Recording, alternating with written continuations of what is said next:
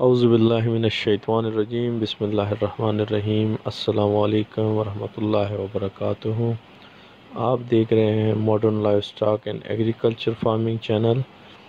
इस चैनल से आपको लाइफ स्टॉक और एग्रीकल्चर के हवाले से काफ़ी कुछ सीखने को मिलेगा। चैनल को सब्सक्राइब करके बेल के आइकन पर प्रेस कीजिए ताकि आने वाली तमाम वीडियो की नोटिफिकेशन आपको मिल सकें। वीडियो को लाइक कीजिए और अपनी राय का इजहार कमेंट में लाजमी कीजिएगा।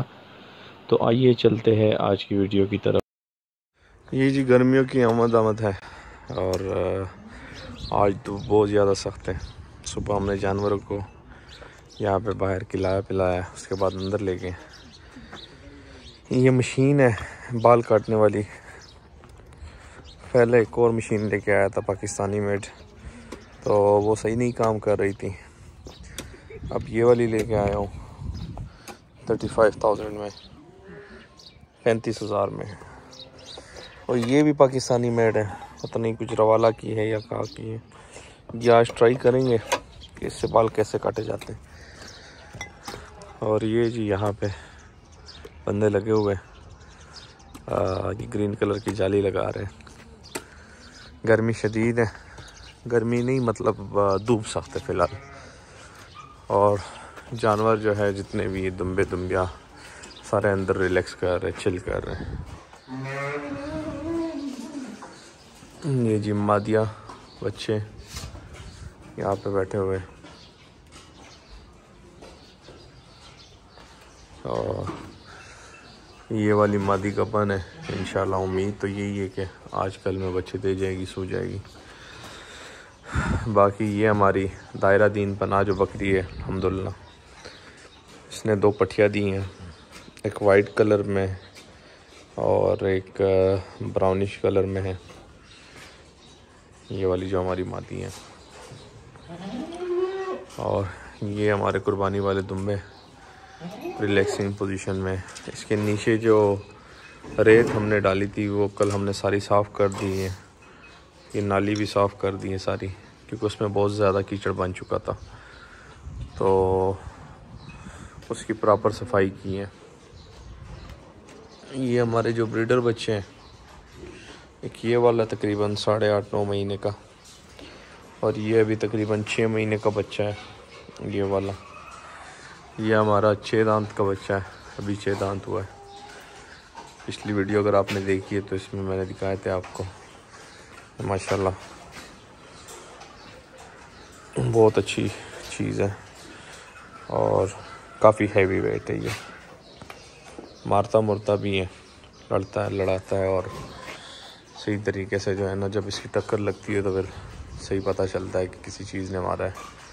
ये दूसरा एज ब्रीडर हमने सोचा था, लेकिन इसको फिर कुर्बानी पे इंशाल्लाह तैयार करके निकालेंगे। और ये जी अपने दुम्बे जो है रिलैक्सिंग पोजीशन में है। ये जो एलिवेटेड शेड है, इसका ये फ़ायदा है। ये देखिए, यहाँ नीचे सारी जगह गीली है। कीचड़ ही कीचड़ है। ठीक है? लेकिन वो बिल्कुल ड्राई है। उसमें और इसमें बड़ा फ़र्क है। ज़मीन और आसमान का फ़र्क है।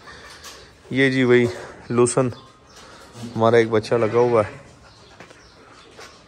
और ये कापी रहा मज़े से इसको हमने फ्री हैंड दिया हुआ है। ये खुद ही खाता है। ये कल मकई, दलिया छोकर वगैरह, वो चूड़ी पड़ी है। ये जी मुर्गियाँ पट्टिया कुछ पट्टे ये हमारा ब्रीडर बटेर, ये वाला सारा। ये ये भी ब्रीडर बटेर है, ये भी ये भी और ये वाले। इसमें से ये इंग्लिश गेम और ये जी सिल्वरलेस पॉलिश ये लाइट सेक्स और ये जी वाइट में हमारे पास इंग्लिश गेम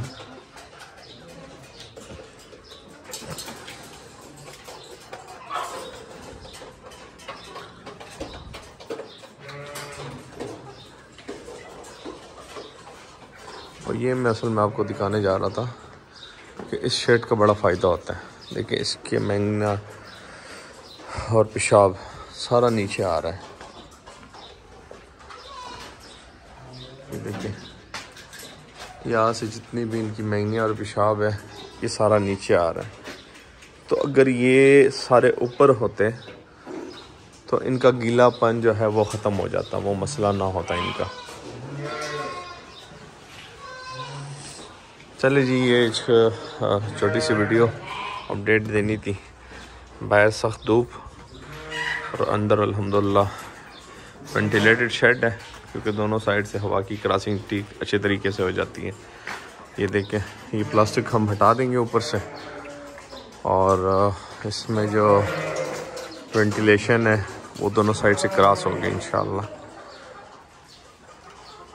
तो चले जी, आज की वीडियो ख़त्म करता हूँ। दुआ में याद रखिएगा, अपना ख्याल रखिएगा। अल्लाह हाफिज़।